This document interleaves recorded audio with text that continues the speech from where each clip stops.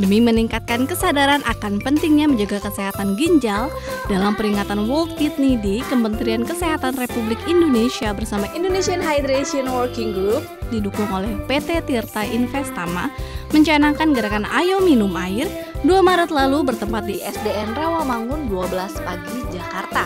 Dalam kegiatan ini terdapat peluncuran komik Amir yang diperuntukkan untuk mengedukasi anak-anak sejak dini mengenai pentingnya minum air bersih.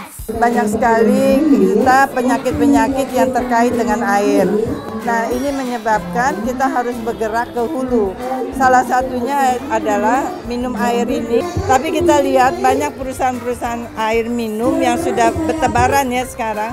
Nah, kami minta menjadikan mereka memakai ikon Amir ini. Amir ini artinya ayo minum air.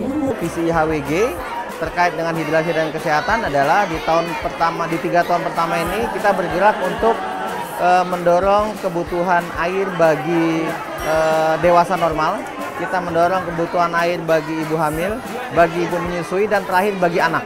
Danon mendukung uh, World Kidney Day uh, yang dicanangkan setiap hari Kamis kedua di bulan Maret.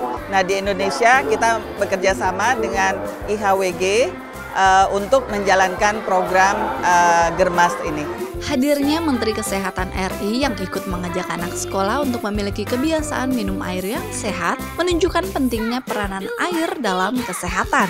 Melalui gerakan ini, diharapkan dapat meningkatkan kesadaran masyarakat untuk hidup sehat dan memelihara kesehatan ginjal, salah satunya dengan cara mengkonsumsi air putih berkualitas setiap hari.